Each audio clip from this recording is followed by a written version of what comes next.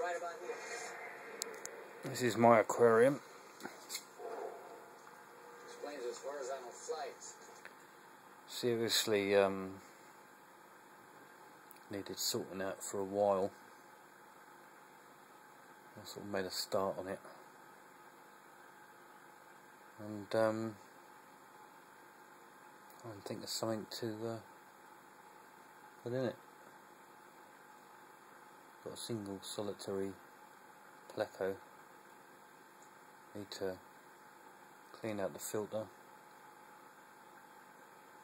Before that, do a gravel clean.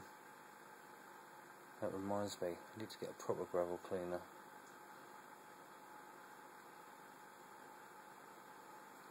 My aquarium.